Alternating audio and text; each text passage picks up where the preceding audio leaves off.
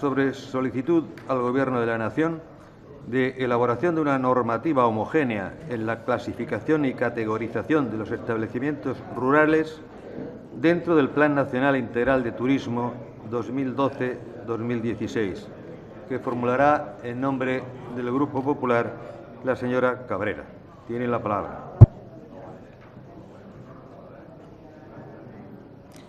Gracias, señor presidente.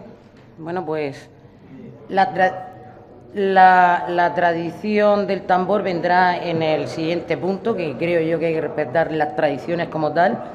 Pero, señorías, yo subo, yo subo a esta tribuna para defender una moción, para defender una moción presentada por mi grupo, donde se insta al Consejo de Gobierno para que, en colaboración con el Gobierno de España, impulse la elaboración de una normativa homogénea en la, en la clasificación y categorización de los establecimientos rurales. Dentro del Plan Integral de Turismo, y todo ello vaya en aras de facilitar una promoción nacional e internacional más eficaz para el turismo rural. Un plan, señorías, que cuenta con 28 medidas y con 104 acciones, como ustedes saben o como deben de saber. Un plan donde entre 2012 y 2016 cuenta con una dotación presupuestaria que va entre 1.600 millones y 1.800 millones de euros, con el fin de incrementar la actividad turística y su rentabilidad. Conclusión, vemos aquí reflejado cómo el turismo sí es una política de Estado y verán sus señorías que siendo el Estado, pues a él nos encomendamos con el tema de este eh, turismo rural, producto rural. Señorías, como antecedentes, decirle que en la región de Murcia se cuenta con 522 establecimientos rurales, entre hospederías y casas rurales, y más de 3.500 plazas, una cifra superior a la del 2003, al 2013, perdón, un 2, un 2, 9%. En cuanto a la demanda, en 2014 se incrementó el número de viajeros que se alojó en establecimientos rurales de la región, un 13,2%, frente al crecimiento en el conjunto de alojamientos arreglados, que fue el 5,1%. Estas cifras salen, están publicadas, están publicadas también por medios de comunicación y son fáciles de contrastar. Los viajeros nacionales aumentaron en un 10% sobre la cifra del 2013. Y pongamos atención que los extranjeros subieron más del 55%. Así crecieron también las pernoctaciones, un 8,8%. Yo a algunos de sus señorías les invitaría a que cambiaran el discurso, porque claro, cuando uno se pregunta de dónde salen las cifras, y estas cifras han sido publicadas publicadas por el Gobierno, publicadas por los medios de comunicación y publicadas por el propio sector, yo rogaría de que ustedes cambiasen el discurso, cambiasen el discurso y hablaran realmente. Bien, continuando con el tema del turismo rural, este sigue siendo el sector donde más complicado está resultando a la hora de implantar la reserva online. Pero ahora mismo, con el trabajo del Gobierno regional, Existen cada vez más propietarios de alojamientos rurales que deciden subirse al carro de las nuevas tendencias. Los establecimientos empiezan ya a ofertar sus casas incluyendo precio y disponibilidad, igual que los hoteles. Recordemos que los hoteles tienen como símbolo la estrella y están clasificados pues desde una estrella hasta cinco estrellas.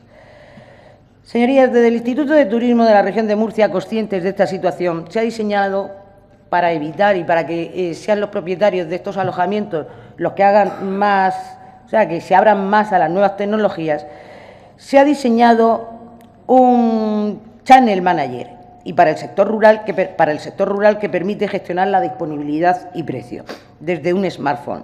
Como habitualmente los propietarios de los alojamientos rurales poseen un perfil, ya que no suelen estar en la oficina eh, gestionando, pues se ha puesto a su disposición una aplicación desde la que se pueden gestionar estas variables.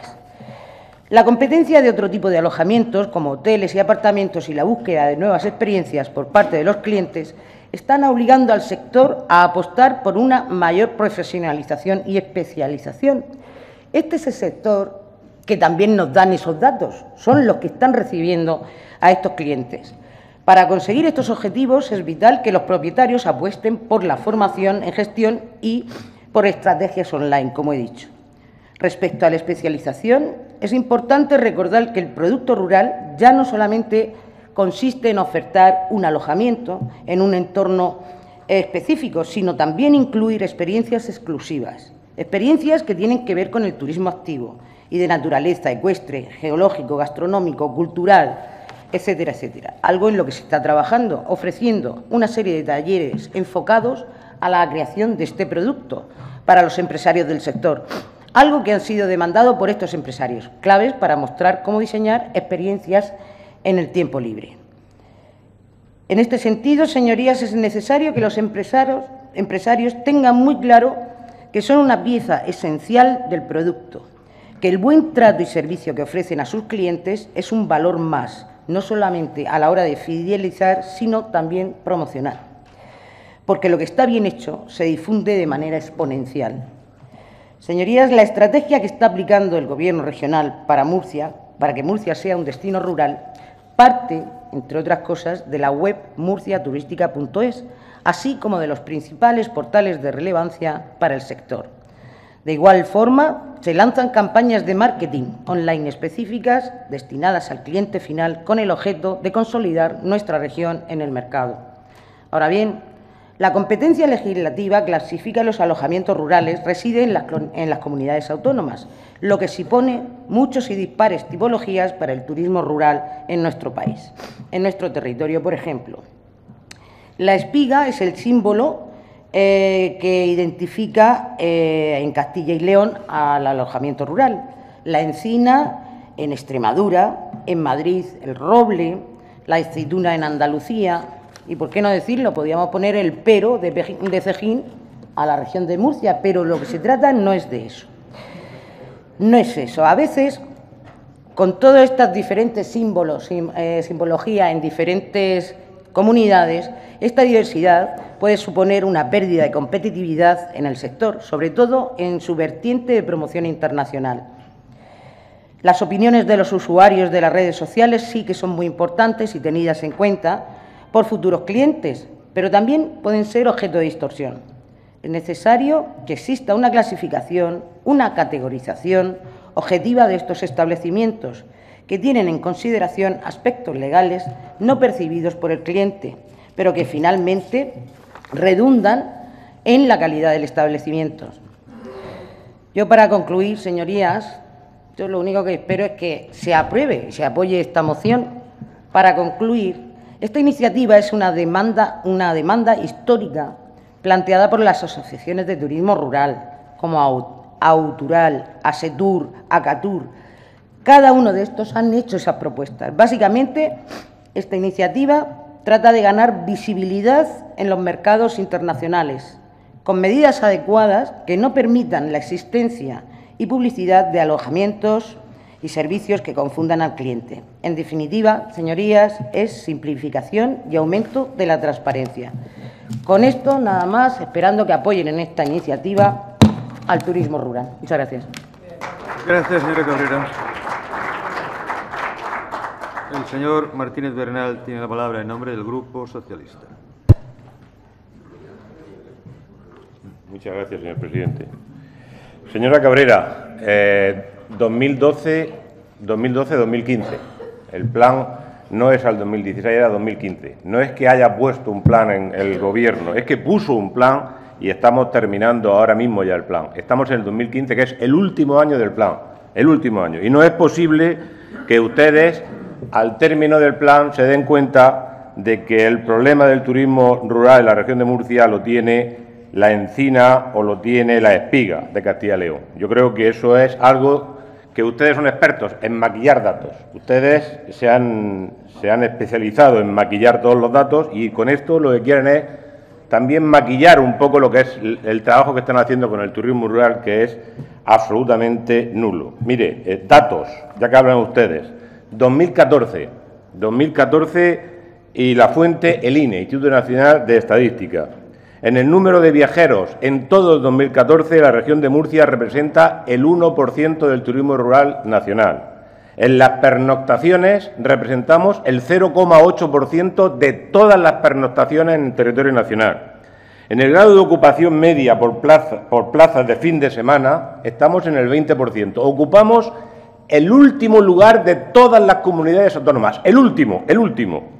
Y, desde luego, lógicamente, es una pescadilla que se muerde la cola. Si no hay, si no hay eh, molla en el, turismo rural, los alojamientos rurales abiertos y el número de plazas estimadas estamos también a la cola. En el número de alojamientos rurales abiertos representamos el 0,7% de todos los establecimientos abiertos en el Estado español, el 0,7%. Y en el número de plazas estamos en el 1%. Esos son los datos. Esos son los datos reales del año 2014. Ustedes, lo que pasa, lógicamente, hacen comparaciones con respecto a años anteriores. Como estábamos en el subsuelo, hemos subido del tercer sótano al segundo sótano, pero todavía seguimos estando en los sótanos del turismo rural. Ni siquiera hemos salido a que nos dé la luz del sol. Desde luego, no entendemos que con estos datos no hayan hecho ustedes nada, porque desde luego, si el problema del turismo rural en la región es la espiga o es la encina, pues vamos a llenar nuestras fachadas de espigas y de encina y con eso vamos a tener turismo así de, así de claro, porque si funciona en Extremadura y funciona en Castilla-La Mancha y no funciona en Murcia y la clave es la espiga o es la encina, pues la solución es muy fácil. Espigas y encinas en todos los establecimientos rurales de la región de Murcia. Yo creo que no es por ahí por donde tiene que ir. Mire, lo que usted dice, estamos de acuerdo que se podría solucionar. Es un pequeño, una pequeñísima un pequeñísimo problema en el turismo rural. Hay problemas mucho más grandes. Por ejemplo, la dispersión que existe con respecto a las modalidades de alojamientos rurales que tenemos en España. Conceptualmente hay diferentes, tantas clases de alojamiento de turismo rural que cada comunidad autónoma tiene un nombre distinto. Y llegamos a ofertar, tenemos denominaciones iguales para productos distintos y denominaciones distintas para productos que son similares. Uno va a Cataluña y oye hablar de masías, casa del pueblo. Va a Galicia y habla de pazos, de monasterios, de castillos. Viene aquí a Murcia, habla de alquerías, casa almazares. Es decir, ahí probablemente es más importante todavía de cara a ese turismo exterior que usted dice. Muchísimo más, importante. Desde luego, mm, mire, le voy a dar gratis, gratis, por nada, consejo de lo que el turismo rural tenía que tener en nuestra región. Por ejemplo, mejoren las infraestructuras y los servicios. Tenemos vías de acceso al turismo rural que son tercermundistas. Parece que todavía se entran en la época de las caravanas del siglo XIX. O zonas que no, hay ni siquiera cobertura telefónica. Amplíen ustedes la oferta de ocio, de actividades y rutas, que en algunos casos se está haciendo a través de los empresarios con la ruta del vino. Auméntela ustedes eso. Y luego un problema muy grande que tiene, que aquí se ha hablado, aquí se ha hablado anteriormente, el tema de la formación y de la cualificación. Mire, lo de la pescadilla que se muerde la cola que le decía antes. El turismo rural en nuestra región es, en algunos casos, el segunda o la tercera profesión de las personas que ejercen eso. Lógicamente, se tienen que dedicar a algo que les pueda sustentar su vida y dejan lo que es la actividad turística como algo residual. Eso supone que su formación y su cualificación deja mucho que desear, muchísimo que desear. Bueno, Intentemos ahí, trabajemos en ese tema de la formación y de la cualificación. El tema de los idiomas, por ejemplo, que no se ha tenido en cuenta para nada. O de la promoción. Yo entiendo que la palabra promoción para ustedes es una palabra maldita. No quieren hoy hablar de ella. Eso es algo que eso cuesta dinero y, lógicamente, que promocionen pues, los empresarios, ustedes no. Pero hace muchísima falta promocionar el turismo rural y todo el trabajo que hay en torno, que pudiera haber en torno al trabajo rural, todas las cualidades, los beneficios que pueda tener eso. Pero además hay algo... Voy terminando, voy terminando enseguida. Pero además también algo a nivel, ya no solamente de la región de Murcia, a nivel, a nivel general. Una fiscalidad específica, por ejemplo. Luchar contra el intrusismo, contra la economía B. Y, y algo que es importante. Ustedes hablan de la clasificación y categorización homogénea. Yo le hablo de una legislación homogénea. No es posible que cada comunidad autónoma tenga una legislación distinta en tanto en cuanto se hable de turismo rural. Por ahí es por donde tenía que ir el trabajo verdaderamente de, esta región y no ahora si ponemos una encina o si ponemos una oliva o si ponemos un pero. Muchas gracias, señor presidente. Gracias, señor Martínez Bernal. Señor Pujante, tiene la palabra.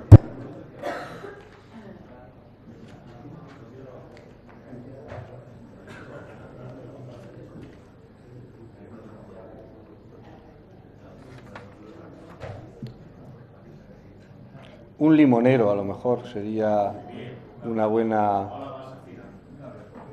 una buena un limonero quizás sería una buena un buen símbolo para identificar los establecimientos rurales.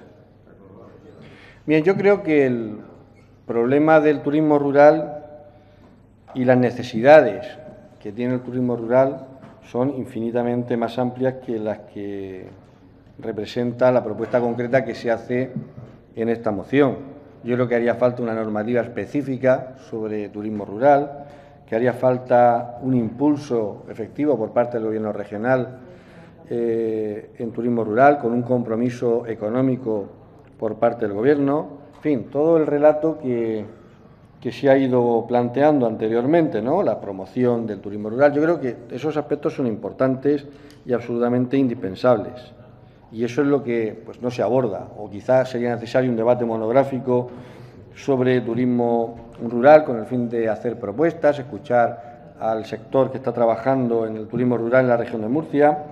Eso es lo que podría contribuir, porque efectivamente el problema del turismo rural no se resuelve con iniciativas como la que aquí se plantea, que podrán ser positivas y necesarias sin duda alguna, pero es una propuesta, sinceramente, pues muy, en fin, muy risoria, muy, muy tangencial, que tiene una, repercusión, una repercusión muy pequeña.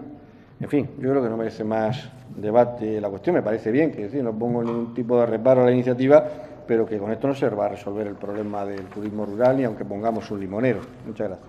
Gracias, señor Pujante. Señora Cabrera.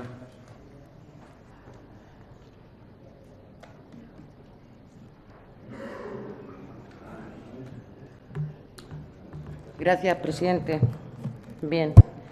Dice, dice el señor López Bernal, em, estaría pensando, Martínez Bernal, dice el señor Martínez Bernal que, no se ha hecho nada de, en turismo rural, que no, en fin, vamos a ver.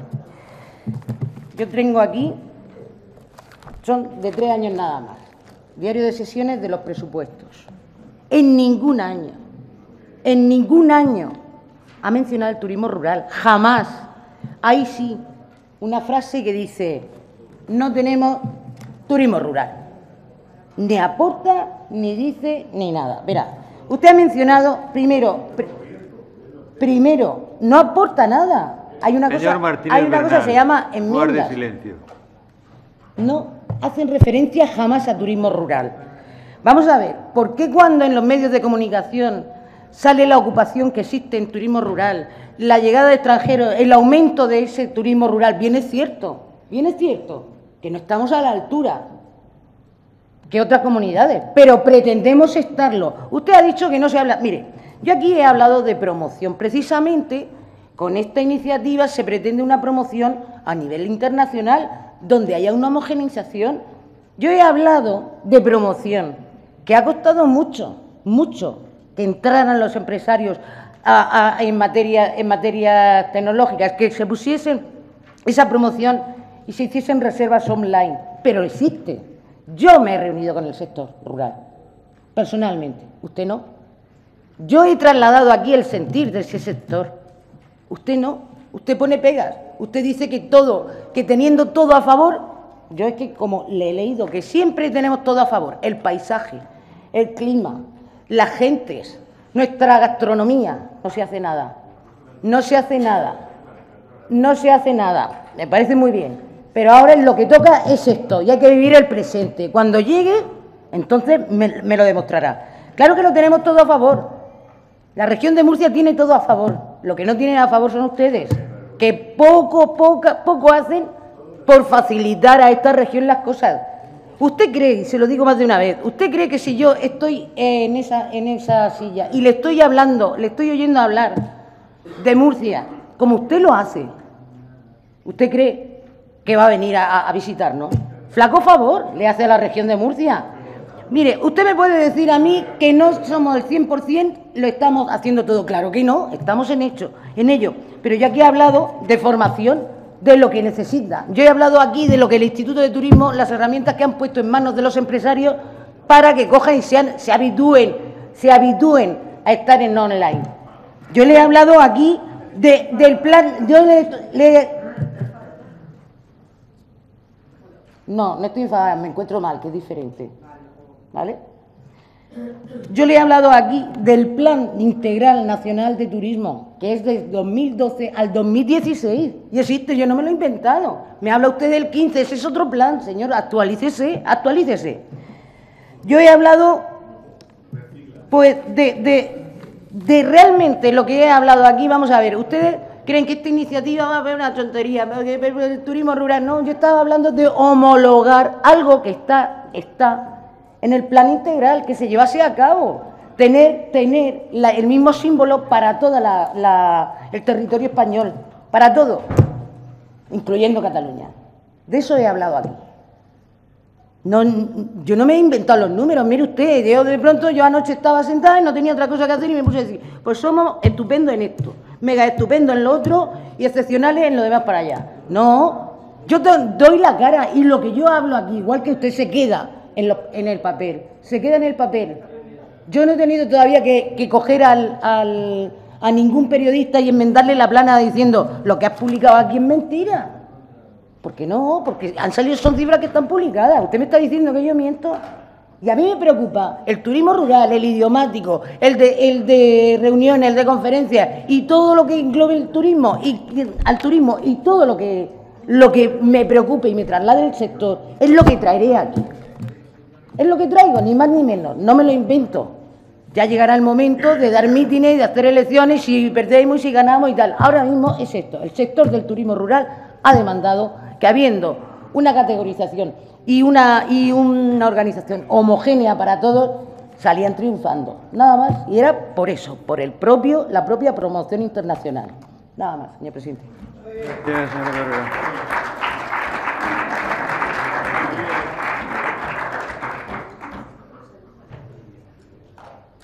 Vamos a proceder a la votación. Votos a favor. Gracias, señorías. Se ha aprobado por unanimidad. Explicación de voto, por favor. La explicación de voto, señor Martínez Bernal. Sí, hemos apoyado la moción del Partido Popular porque, eh, lo he dicho en la intervención, esto es algo que no es malo y por eso lo apoyamos, solo que nos gustaría que en esta región se hiciese algo más por el turismo. Desde luego, este Gobierno ya ha llegado a donde tenía que hacer. Esperamos que en las próximas lleguemos otros responsables a, otros niveles del turismo, del turismo rural. Y luego, en cualquier caso, eh, hemos votado a favor y hemos dado los argumentos porque mm, mi ideología y mi forma de pensar me impide mentir y por eso no puedo mentir, señora Cabrera. Muchas gracias. Gracias, señora Martínez Benal. Va a intervenir señora Cabrera, tiene la palabra. Sí, eh, bueno, eh, es real, hemos propuesto esta iniciativa, le hemos votado a favor, pero yo sobre todo quiero darle las gracias a los portavoces de, de la oposición por acompañarnos en esta andadura, que esperemos siga por muchos años. Gracias. Gracias, señora Cabrera. Siguiente punto del orden del día